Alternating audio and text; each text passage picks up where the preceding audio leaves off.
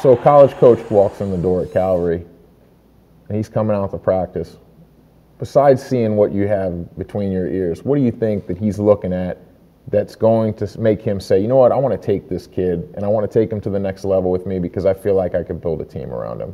Yeah, well, the one aspect that really can sell someone on a quarterback is his leadership, I believe, and that is something that's so crucial and so um, mandatory to have at the quarterback position. Being able to be a leader on the field, being able to step up into a throw and take a hit and deliver the ball, even though a 300 pound defensive lineman is coming in your face.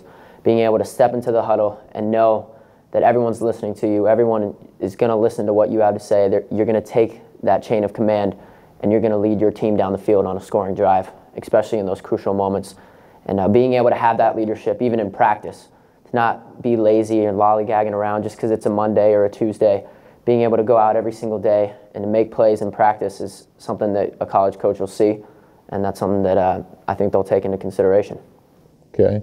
Now, it's easy to say when you're winning games, and I'm sure you've been in situations where the quarterback's not winning games.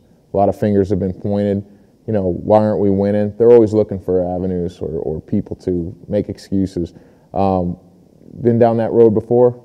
Have you? I've been down that road. That's a tough road to be at. Now, when you're winning, it's easy. I know everything's going right. But what do you think is, is the most critical part of keeping a team together throughout the course of a season? You know, they call it a, a marathon and not a sprint.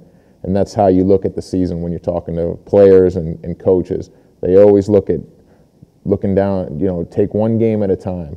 I mean, what can you do and how do you do your part for keeping that team together and keeping a cohesive unit? Yeah, just like you said, a lot of times quarterback gets credit that he doesn't deserve, and well, also he gets blame that he doesn't deserve. I believe it's Peyton Manning who said that. And that's something that's very hard to deal with. A lot of people can't handle that. Being able to take the whole blame for a team is something that a quarterback has to do sometimes. I mean, you have to step in, you have to take responsibility. Even if you weren't the main person that made a mistake, you have to take the responsibility for your actions. And um, that's one thing that's hard to do. I've been in that situation when your team isn't winning football games. I know a lot of that responsibility falls on the quarterback. It's just a natural thing.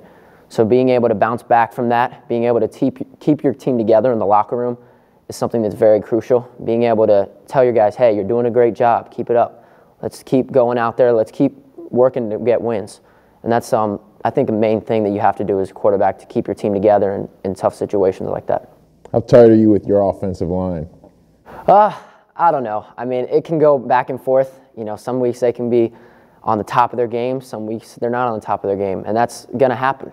I mean, it's not something that you can necessarily prevent. It's not something that you can control. I just have to go out there week in and week out and continue to play my game. And whether I make the throw under that kind of pressure, that falls on my shoulders. I have to be able to make the throw sometimes, and they're not going to always be able to handle six, seven guys rushing through the line of scrimmage. So um, I just got to keep looking at my game, keep looking at areas where I can get better, and uh, go from there.